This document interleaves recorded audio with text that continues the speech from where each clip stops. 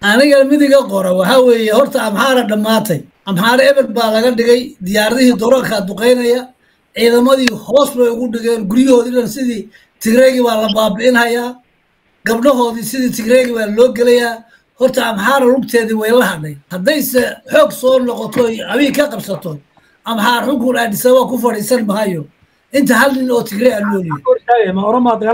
باي هل لو تقرأ انتو لو بها محار حقوق اي توب يكون حنكو تخفر يسال بيس تأمنا هذا هذي قف كلك يا سدان كورن أو يجا مقعود يجا اورما مقعيلا اما صومالي مقعيلا اما تقرأ مقعيسا اما بين شانقول قنوسي يو دبون حسبوش مقعود وتا لكن يجا سيدا ابي اوكا سنو كلا اكور أو اي قرار كما عمرو يا كيرو كيسا laakiin waa inay qoomiyadda tigreegu ay talada wax ku leedahay markaas nimanka u khatarsan xitaa dalka inay qabsanaa suurtagal tahay tigreega waa. Laakiin waa wixii la yeelahayaba waa in qoomiyadda tigreegu ay ku leedahay. Oromo iyo amxaara iyo tigree hadday heshiiyaan waxay doonaan bay keenayaan.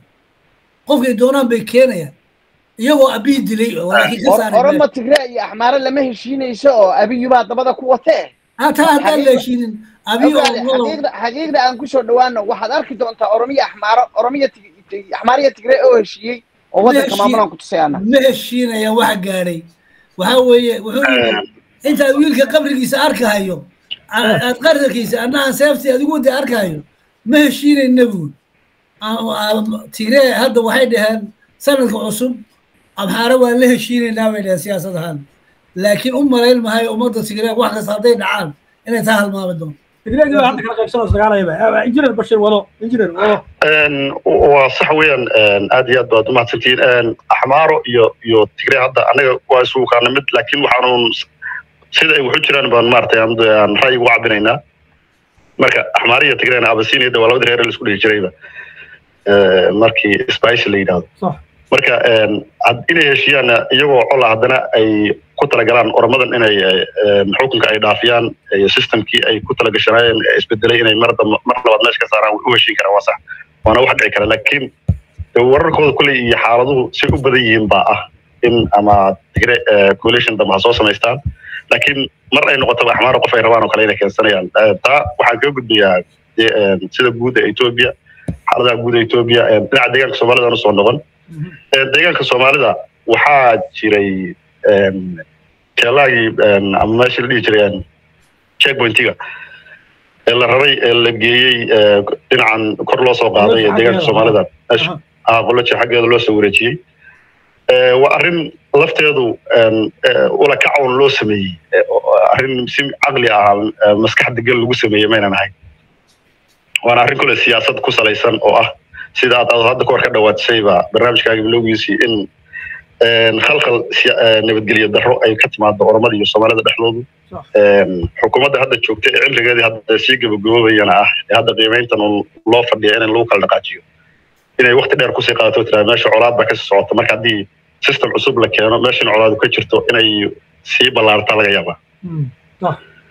Marka waa arrin noocaas ku salaysan ee ma aha arrin istiraatiijiyad laga fikiray oo ah xuduudda ay deegaanka soomaalidu leedahay oromada in xadka laga dhigo oo sida saxdaba ahay. Marka taas ra'yi ahaan saas waan u arkaa. Tan kale axmedow waxaan rabaa inaan ku daro dadku isku dan ma ah mustafe madaxweynaha deegaanka soomaalidu dadku siyaabo badan bay uga falceliyaan dhaqankiisa iyo qaabku waxu maamulayo laakiin markii xaqiiqda laga sheegana inta badan waxay dhahaan qofka waxbaa loo ballan qaaday ama waxbaa la siiyey qolyaha mucaaradku inta badan. Laakiin waxaa fiican xaqiiqda mar walba in la sheego. Madaxweynaha deegaanka soomaalidu waa nin shaqadiisu gudanaya. Waajibaadkiisa saxda ahaa ee loo doortay hadda ka hor kumeelgaar ku ahaa haddana loogu doortay. Ee etoobiya ugu dooratay ayuu gudanayaa taa inay dadku aaminaan oo ay ku qancaan baa fiican. Shaqadana maxay tahay marka uu gudanaya waajibaadkiisa shaqadana waxay tahay jiritaanka etoobiya iyo qowmiyadaha etoobiya inuu ilaaliyo xuquuqdooda. Dadka deegaanka soomaalidana si akhlaaq leh inay ugu noolaadaan deegaanka xukunka etoobiyana ay ugu hoggaansamaan waa shaqada shaqada mustafa loogu soo diray deegaanka. Intaa wixii ka duwan qofka raba mustafa waa madaxweynaha deegaanka soomaalida ee oramadan dhulka ku soo duuraysa naga celiyo oo canfartan ku soo duuraysa naga celiyo qofkaas qof riyoonayaan u arkaa qof xaqiiqda garab marsan weeyaan iyo sida uu rabo. Marka madaxweynaha deegaanka soomaalidu shaqadiisa in lagu ammaano in la waajibaad kaga badgudanaysaa waa nin wanaagsan oo shaqadiisa gudanaya. Intaa in lagala bakayla ma ah qof walba oo yimaadana tusaale yar baa ku raacay injineer axmed ninkii la dhihi jiray Ma- madaxweynaha ka horreeyey isaga oo cabdi maxamed cumara etoobiyada aad sheegayso muu u shaqaynaya isagu degaankuna wuu sugnaa ammaankiisa xuduudaha canfarna dhul ma qaadanaynin oromana ma soo weeraraynin muxuu mustafa uga duwan yahay marka labadooda shaqadooda way qabsanayeen waa sababta uga duwan yahay maxay tahay isagu u ogolaaday in dhammaanba deegaanka soomaalida gacanta ka baxo. Good question. Een, waa waa su'aal aad u wanaagsan. Waxay ku kala duwan yihiin baan kuu sheegi kolleyda inta aan qabo waxa weeyaan aan ka aan aragti ahaan ka qabo. Waxay ku kala duwan yihiin xilligii madaxweyne hore ee deegaanka soomaalida cabdi maxamed cumar. Ee deegaanka soomaalida dadka isagaba baabiinhayayba canfartu lama baahnay shaqo inay qabato oo dad soomaaliyed ku soo duusho. Ninka canfartu isagaa deegaanka soomaalida dhulkiisii bu ahaa. Ninka oromaduna dhulkiisii ba ahaay marka muhiimba maaha in oromana ku soo duusho soomaalina canfarna ku soo duusho. Waxaa qabanaya shaqadii iyagu ay lahaayeen ama dilitaan ah ama barakicin ah. Cabdi maxamed cumar baa qabanaya waajibaadkii shaqadaas ahayd ee qowmiyadu lahaayeen isagaa u qabanaya qofka soomaaligu waxaad ogeyd cafari soomaalida laynayo kumayna faraxsanayn oo shaqo loo qabanaya ma ahayn. Cafari dhul bay raadinaysa dhulkiina waa heshay. Oromo axmed eh, oromona dhul bay raadinaysa nin- dhulkiina waa waxay hadda shaqadeeda wado marka faraqa u dhexeeya labadooda muxuu yahaan kuleeyahay aniga oo mid labadii waxaa tiri shaqadii loo qabs loo soo diray bay ay qabanayaan. Marka faraqa u dhexeeya kanna uu muxuu ahaa dhulkii u bixinayo kan dhulku difaacaya maxay tahay? Een, in- engineer axmed mid dhul difaacaya ma jira amusaan qabo dhulkan Dhulkan Ethiopia xukunta. eh, ya in- engineer axmed dhulkan ethiopia iskale jigjiga ethiopia xukunta ethiopiana iskale kamana difaaci karaan oromaduna ethiopia ka mid tahay canfartuna ethiopia ka mid tahay. Marka dhul la haysto een, micnaheedu ma aho de canfartan canfar waa canfir oo na xukuntaaba ka fiicnaan lahayd. Anu ethiopia oo na canfartaaba dad muslimiin ah. Oo dhulka soomaalida dhan mid lagu wareejiyay haddayba taa de- ah, dhinaca hadda laftooda loo qaado. Laakiin dhul la haysto oo la gumaysto oo amarka madaxweynaha deegaanka soomaalida la soo siiyo oo liya maanta waxaad ku duushaa meesha la yaha shiraabo ee dadka halkaas barakici qaarna soo xidhin amarka lagu siinhayo dadkiisa soo qabanaya oo ciidanka soomaalida u adeegsanaya. Dee in canfar la yidhaahdo dhul bay soo weerartay ma aha. Canfartu wax ay soo weerartay ma jiro. Canfartu waa ciidanka etoobiya dowladda etoobiya ka mid tahay Eh, ciidanka liyo booliskana Okay. dowladda etoobiya ka mid yahay. Marka ciidanka liyo booliska hadda wada tahay gobollada dhagax buur loo diray oo waxaan rabaa walaal injineer bashiir inaan u jawaabo wax yar u sheego. Horta walaal een, waxaan is leeyahay injineerku waxaan is leeyahay een, historyga etoobiya ama nidaamkii kala dambeeyey ee etoobiya iyo maamuladii kala dambeeyey ee deegaanku si u shaqaynayeen wax badan baad moodaa inaynan inuunan ka ogeyn. Anigu maalintii nineteen nineteen ninety one kii baan waddanka imid. Nineteen ninety two giina shaqaan ka bilaabay waxaan rabaa injineerka inaan u sheego. Injineer si aad moodayso ma. Waxa weeyaan dergigii iyadoo joogoon cidna maamul lahayn dhul soomaaliyeed cidna kuma soo durkayn hayle salaase iyaduu joogo oo aanu cid kala awoodi jirin oo hal boqor waddanka ka taliyo cidna kuma soo durkayn waddan soomaaliyeed iyo dhul aynu leenahay. Jigana lama hunguraynayn dirdhabana lama hungurayn jirin meel kale lama hungurayn jirin. Waxaan loogu durkayn dalka oo dhan etoobiya ahaa etoobiyada unbaa la wada ahaa soomaaliya haddaad tahay meeshii alla kugu beeray baad degan tahay. Oromo haddaad tahayna meeshii alla kugu beeray meel aad badsan karta iyo wax deegaan la yidhaha xuduud oo durkisan kartaa ma jirin. Okay soo noqo intii deegaanadu bilowdeen. Aan ka hadalla marka labadii maamul ee u dambeeyey. Intii hore ee maamul ee ka horreysay iyagu macno badanba may lahayn. Labadan maamul ee hadda u dambeeyey ee kala dambeeyey. Walaalkay waxay indhihiisu ka qarsoomayaan haddii cidi etoobiya babad u noqonaysa cabdi inay cid ka babadsanayd laakiin babadnimada cabdi inay waxay babadnimada mustafa maxamuud cumar uga fiican tahay baan kule qabadsiinaya cabdi maxamuud cumar wasiirka federaalka wuu dharbaaxi jiray. Xafiis karo kasta oo heer federaalana laag intuu ku furo albaabkiisa yuu wuxuu doono ka soo dhamaysan jiro oo miisaaniyadda la doono uu ka soo qabsan jiro oo lunch noo soo dira. Waxa etoobiya oo dhan loo keeno sheerka ugu weyn buu ka soo qaadan jiray. Dadkiisana wuu layn jiray dhulkiisana wuu ilaalin jiray. Intaa horta ku- baraarug. Mid baan rabaa injineerka inaan u sheego. Engineer think out of the box. Bal hadda sanduuqa ka yara baxo banaankiisa ka fikir. Dadku hadday dhintaan way dhalanayaan. Laakiin dhulka haddii la qaato dadku meelay ku dhashaan ma helayaan. Noloshii baa lagala dagaalamayaa qofka. Qofku xaguu ku noolaanayaa waxaad ilowsan tahay marka cabdi maxamuud cumar markuu joogo dhibaato aan deegaanka intuu mustafa maxamed cumar joogay jirin baa yaan jirin waqti cabdi ilay joogo magaalada jigjiga haddaad maanta dhex istaagto inaad goondar dhex taagan tahay iyo awaasada dhabi xisboojku deganaa iyo inaad magaalo iyo inaad magaalo soomaalida dhex taagto shaki baa kaa gelaya goday markaad tagto inaad magaalo soomaali haaf degan tahay oo dir dhaba xamaara iyo oromona haaf haaf degan yihiin inaad dhex taagan tahay iyo inaad magaalo soomaali ubuucdeedii iyo aad degan tahay shaki baa kaa gelaya waxa taa kaaga daran oodan ogeyn. Qorshe dhammaystiran ninka oromada ku-xigaha u ahaan jiray oolada ayaa wuxuu odhan jiray waagii hore aan halganka halgan kaga jirnayn cabdiile iyo tblf ku kacsanay baa wuxuu dhihi jiray annaga buug baa noo qoran buugga noo qoran wuxuu sheegayaa sagaalkan kelileed sheegataan afar ka mida annagaa naga dhacdeen mid wiilwaal baa naga dhacay mid raago ugaasiyo gruubkoodii baa naga dhacay.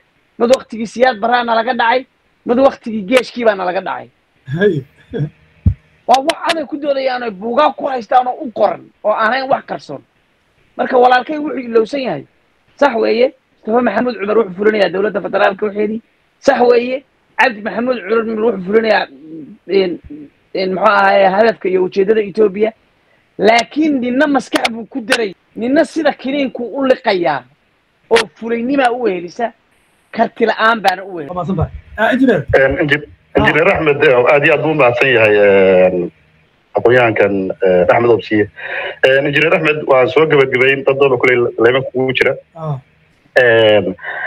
Waxaan ku soo gebagabeynayaa dadku markii hore waxaan ku bilaabay hadalku dadku isku dan ma ah Een, hadalkan uu sheegayana waa xaqiiq waa dhul soomaaliyeed. Laakiin dhul soomaaliyeed maadaama uu yahay haddana waa dhul etoobiya oo dhulka etoobiya nidaamka hadda ka jira ka weyn anigu waan qabaaba in qowmiyaduhu ku soo wada guuraan dhulka soomaalida. Een, xukunkana nologu dhiiba nin oromo ah ama nin waxa weeyaan een, axmaara nologu dhiibo oo madaxweynaha deegaanka soomaalida laga dhigo. Sababta looga dhigayaan ku cabirayana waxay tahay kole arrintaas waad dhibsanaysaan. Cadaalad baa laga helaya maya ma injineer axmed de xaqiiqda laga hadlaya injineer axmed. Injineer axmed maanta cadaaladda adiga injineer axmed ah oo tilmaan t v agaasimaha ka ah. Maanta waxaad cadaalad ka helaysaa madaxweyne axmaar ah oo deegaanka soomaalida madaxweyne looga dhigo. Oo gondar laga keenay. Ayaad cadaalad ku heli lahayd. Laakiin hadda kuma helaysid madaxweyne soomaali ah oo jid waad ah haddii laga dhiga deegaanka soomaalida ammaan kuma helaysid. Amnina kuma helaysid adigaagan axmed ah. Meel kaleba ha u waxayn marka deegaanka soomaalida wuxuu u baahan yahay cadaalad. Cadaaladna waxa uu samayn kara nin aan soomaali ahayn oo qabiilada soomaalida oo waktigii dhargigii bay xukumayeen iyo iyo mingista xaylamaariam iyo xaylasalaasiya mililiga maxay cadaalad ugu soo xilligaas xilliga ugu dhoweyd cadaaladdu xilligaas bayd. Axmed obsiye wuu og yahay wuu la socdaa xilligii migistu xayl maryam cadaaladda waxa wax laga weydiin jiray gobolka dhagax buur qof reer reer- reer jigjiga ah lagama weydiin loogama weydiin jirin. Toos waxaa looga weydiin jiray odayaasha gobolka dhagax buur wax allaala wixii ku saabsan arrimaha gobolka dhagax buur arrimaha gobolka qorraxay sidoo kale ka wardheer sidoo kale gobolka jigjiga sidoo kale looguma xadgudbi jirin in amarkooda qof kale uu ku amar taagleeyo hadda waad aragtay madaxweynihii ku horreeyay cabdi maxamed deegaanka xilliga aad ka hadlayso wuxuu ahaa war zone buu ahaa.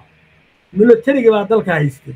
Waxay rabaan bay ka samaynayeen cadaaladda ka jirta waktigaas xaggee jirta haweenkaa la hal kufsanaya gabadh iyadoo ahaa hal gabadh baa lagu dilay. Injineer axmed wax yar baan kuu sheegaa. Tusaale yar oo dhacdooyinkii finish habeenna weyn oo ka dhawaajisay cadaalad baa ka jirtay muxuu ahaa iyo ethiopia andinet ayaa u wanaagsan soomaalida.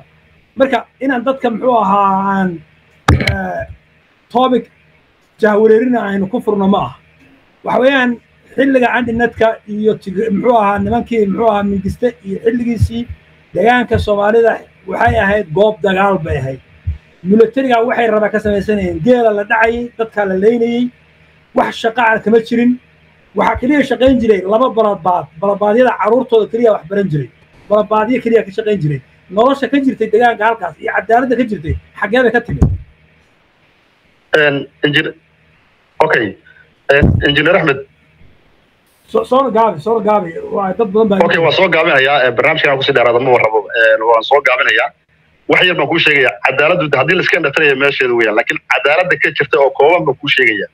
Si badheer ah waxaa loogu dilay gabadh baarlamaanada deegaanka soomaalida ka mid ah oo la yaqaano aqoon-yahanad ah ayaa airportka garadwilwaa si cad loogu dilay askari ugu togtay waa tanna deegaanka soomaalida waan kuu barbardhigaya iyo tii hore ee xukuumaddii hore ee sida guud dalka uga talinaysay madaxweynayaasha soomaalidu ayna jirin. Gobolka wardheer la yidhahda gabadh soomaali ah ayuu nin askari ah si badheer ah magaalada wardheer gudaheeda ugu togtay wuu dilay. Ha wuuna kufsaday wuuna dilay. Marka gabadha askarigii isla bartii xukunkeedii baa lagu mariyey. Isagii waa waa la raaciyey. Macnii dhacdooyinka waa waxyaabo soo kooban weeyaan cadaaladda labaad baan ku sheegaya waxay xilligaa waxaa jir injineer axmed aan ku dhamaystiro uda injineer axmed bal ha dhamaystir waxaan rabay inaan dhaho muxuu ahaa xilligaasi mas'uul kartila ayaa joogay oo guddoomiye ka waxuu ahaa ninka odayga ahaa ee muxuu ahaa mahdi ayub. Mahdi ayub. Mahdi ayub. Mahdi ayub buu haya laakiin shaqada sharci baa ka jiray. Go'aanka keligii ma qaateena sharci baa ka jiray. Marka sharci dowladeed oo etoobiya layadaa jira hadda sharci dowladeed ma jiro waa jamhado waxaanu marka hore hadda ka hore waa sheeg haddana waa jamhado jamhaduna sharci toosa male sharcigii marka cadaaladda labaad baan kuu sheegaya waxaa jiray jamhado soomaaliya ka soo qaadanayay oo mar walba ku taamayay inay dhulka soomaali galbeed ay ku xoreeyaan etoobiya oo magacyo kala duwan lahaa. Jamhadahaas iyaga oo ciidamada etoobiya militariga la laayo oo waddooyinka loo galo oo wax walba lagu samaynayo bay haddana dadka soomaalida deegaanka jooga ay dhihi jireen waa muwaadiniin deegaanku iyo hal qof yaan loo xig iyagoo la yaqaano saraakiil familiyadooda inay jamhadaha ku jiraan tan soomaalida eed sheegaysa ee cabdi maxamed cumar. Ugu dambeeyey hadda jamhaddu adagoo soo xarootay mustafana wuu samayn lahaa dabcan hadday duurka kusi jir lahayn wixii ka dhacay waad ogeed labaatan tobankii sano ugu dambeysay. Micni dhacdooyinka la diwaan geliya bay ka mid ahaayeen ee caalamka ka dhacay. In la yidhaahdo reer dhan hal wiil oo kaga jira jamhadaas in la wada dabargoyo waxa meesha ku jiro dhan. Caadgeljirahooda xataa la soo raaciyo xabsiyada laga buuxiyo. Wayn wada ogeyn. Ciqaabna lagu sameeyo ciqaab wadareel lagu sameynayay. Madaxweyne soomaaliyeed buu ahaa. Marka inaan ku sii dheeraado ma rabo laba cadaaladooda aad u kala fog weeyaan tuna dowlad bay ahayd oo dowlad jirta oo nidaam guud ka wada jirtay ahayd oo ninka maqala jooga iyo ninka qaardaar jooga iyo ninka jigjiga jooga ee soomaaligu isku cadaalad loo isticmaalayo sharcigu bahigib engistiga wax la yidhaahdo ay u siman yihiin ba ahaayeen. Tanna waxa weeyaan waa jamhad jamhadduna arabkiilo jamhaddaa fadhida xukunkeedaasu ka soomaalidana si gaara loogu xukumaa qoomiyadaha kalena awoodahoodii bay isticmaalaan oo looma sinno. Sharcigu waa kala sarreeya. Shalay orama shalay tigreey baa sharcigu uu ka sarreeyey ninka tigreega qoomiyadaha kale kamayna sarreeynin maantana waxaa ka sarreeyey axmaar iyo oromaa ka sarreeya sharciga. Hadda maantana waxaa waxaa u sarreeya oromaa u sarre sharciga. Waxaa mid waa sida jir. Sharci laakiin dowladada etoobiya jira oo loo sameyn yahay ma jiro. Marka taas baan ka wadaa ma aha inaan leeyahay xukunkii dhargiga waa cadaalad marka laga hadlayo wixii sida u jiraan in loo sheegaa fiican. Waan soo gabagabeynayaa axmedow aad iyo aad baad ugu mahadsantihiin. Dadaaladan aad samaynaysaan ee aad dalkiina aad maarata wacyigelinaysaan. Dadku dantoodu meesha ay ku jirto waxa ilo quman iyadoona cadiifadna ku jirin si dhaba in loogu sheego. Madaxweynaha deegaanka soomaalida la taageero. Axmaarada uu taageersan yahayna lagu garab istaago. Hadday guulaystaanna de soomaali way guulaysatay. Hadday guul daraystaanna soomaalidu way guul daraysato dee waddanka ka guulaysa kuguma raacsan marka waa ka baxay marka aad iyo aad baan idin salaamaya. Madaxweynaha dowladda deegaanka amxaaradu taageersan yahay in lagu taageero. Taa kuguma raacsan Horta- horta intuunan intuunan injineer bashiir naga tegin baa waxaan rabaa inaan hal idhaahdo ma ka baxay? Ma ku jiraa ku jiraa ku maqlayaa? Horta habeenkii isugu keen dambeysay anuu laynkan ku jirayna injineerku sidaa hadda uu u hadlaya ayuu u hadlayay. Waanan ku ixtiraamayaa de qofka aqoon-yahanka fikirkiisu isaga la quman. Laakiin laakiin waxaan filayaa qofka aqoon-yahanka ah ee soomaaliga ah ee intuu soo fadhiisto media dadkaas faraha badan ay dhegaysanayaan. Laba xaq baa lagu leeyahay. Xaqa koowaad ee lagu leeyahay waxa weeyaan dadka dhagaysanaya inuu ra'yigooda ixtiraamo iyo waxay jecel yihiin iyo waxa diintooda iyo dhaqankooda iyo nidaamkooda ay leeyihiin iyo normskooda.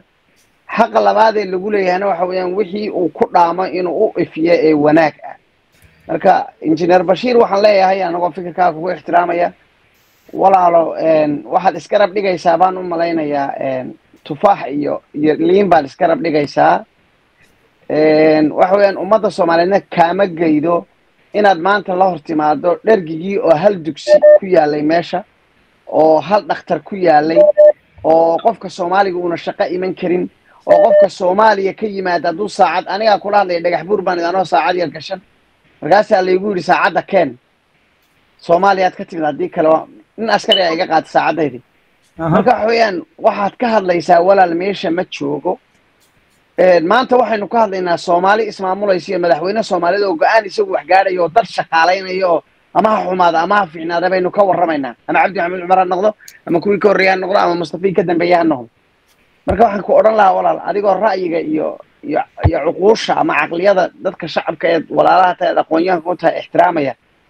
Ma qurux badna inaad habeen walba ku soo celiso dhargigii iyo ayaa ka fiicnaa maamulada hadda jira iyo ka cadaaladsanaa leannu cadaaladda malaha si aad u fahmaysay iyo saan unu fahmaya wayba kala duwan tahaan is leeyahay waan ka baxay walaal